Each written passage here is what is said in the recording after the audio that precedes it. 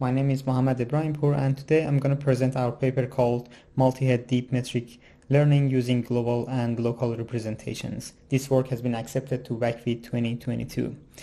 What is deep metric learning? Deep metric learning tries to learn representations that similar data uh, they're going to be close by to each other and dissimilar data are going to be far away from each other. For instance, in this data set, we are interested to search the dataset for, for these queries and retrieve the top um, uh, similar images to the queries that we have. So deep metric learning algorithms roughly can be divided into two broad groups. Uh, the first group is the pairwise based and then the second group is the proxy based. So the pairwise based, they have really strong data to data relationship, but their convergence rate they are slower, uh, they are slow. And then uh, we are in need of hard sample mining, which is going to increase uh, the danger of overfitting of the network.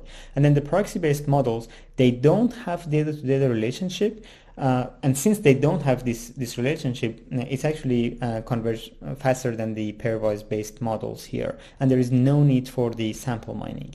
Here um, is the contribution of our method. First, we are proposing a multi-head neural network that takes advantage of both pairwise-based and proxy-based models, meaning that it has data-to-data -data relationship as well as fast and reliable convergence. We are also utilizing a second-order attention mechanism that further enhances the local and global representations that we have. We evaluated our model and we concluded that our model uh, our model achieves state-of-the-art performance on publicly available benchmarks uh, on deep metric learning.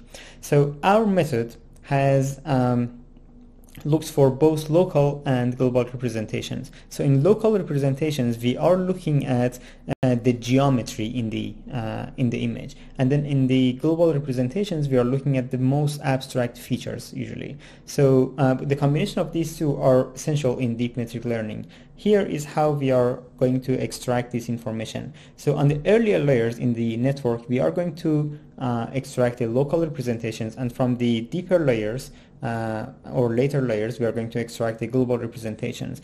After extracting these features, we are going to apply second order attention mechanism on top of that uh, for further enhancement. And then after, whiten, after whitening, we are going to concatenate them all together. So now we have both local and global representations and they both are enhanced. And then we are going to apply our loss function on top of them in order to uh, uh, in order to uh, uh, uh put the similar data to be as close as possible and dissimilar data to be uh, as far away as possible.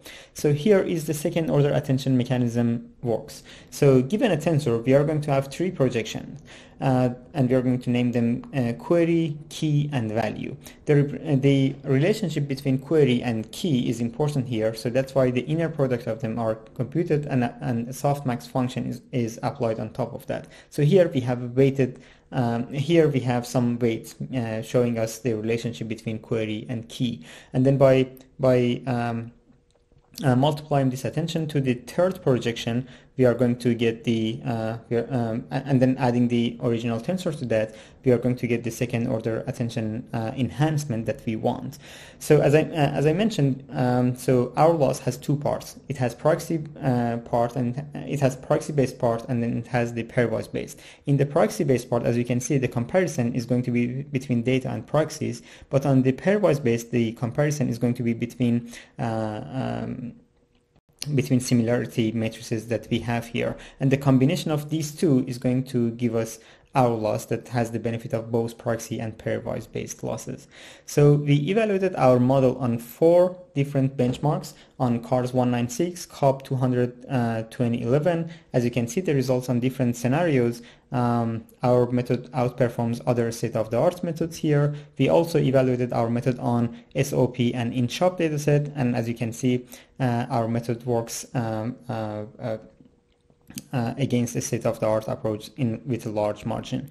We also have some qualitative results. As you can see, the similar data happens to be close by to each other and dissimilar data are going to be far away from each other. And here uh, is the qualitative results on the uh, in-shop dataset.